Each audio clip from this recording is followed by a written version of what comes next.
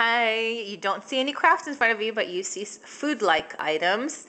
Um, there's rose water, almond meal, and powdered sugar. Um, so it could only mean one thing is marzipan. If you ever wanted to make marzipan and you didn't want to get get out your food processor, blender, slash whatever, make everything fresh out of almonds and have to um, throw them in water, you know, hull the skin and everything else. Um, if you buy the almond meal, everything else is super easy. And as a matter of fact, we're just gonna use a fork to blend it and our hands. So that's as easy as it gets. Measurements are also easy. You're going to use whatever measuring cup you want to use.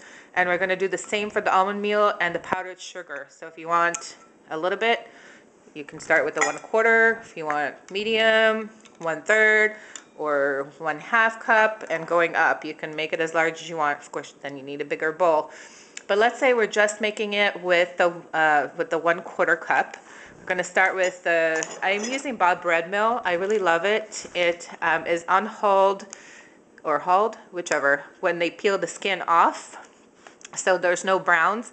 But the Trader Joe's, which has the skin on it, it still works just fine for the recipe. It's just not as pretty if you need to uh, make the colored ones where you use the food coloring and make the fancy designs. But if you just want it for flavor, um, either one will do. I've also seen a Simple Truth one that's um, distributed by uh, Fred Meyers and uh, QFC. But this happens to be Bob's Red Mill. It's uh, organic and good stuff. So, and many people use it for gluten-free cooking. I just use it pretty much for marzipan. So there's one third cup. I'm sorry, one quarter cup. And it doesn't really matter if I was right or wrong because I'm going to use the same um, cup full of the powdered sugar. So one quarter cup goes into the bowl.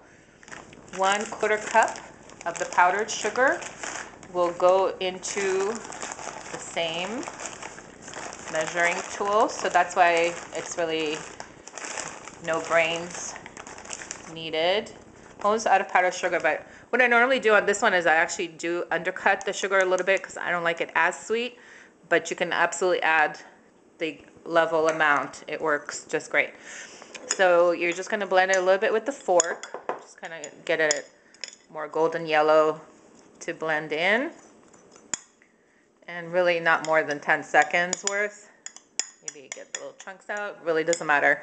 Um, so the next liquid is, um, I use rose water, but you can absolutely use um, liquor, like amaretto, almond liqueur, or even almond extract. Absolutely works really, really good.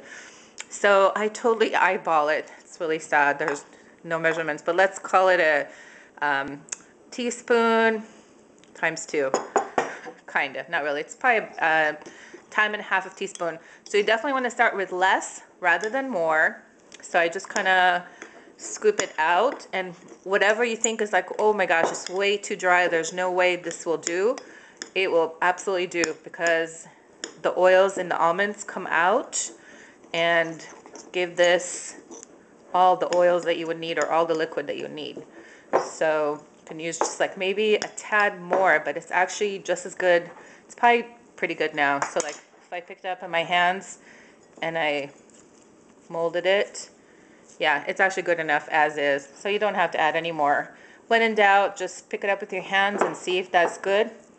And it's most likely good. So this is it. That's marzipan. Now you can put it into some wax paper if you like.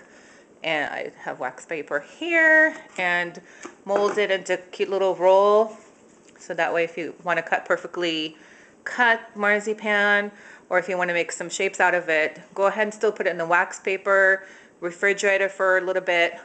That way you can cut um, and mold it a little bit better. But you can just eat it right now as is. It's that good. So I hope you enjoyed this recipe. Give it a thumbs up if you liked it. Thank you so much for watching.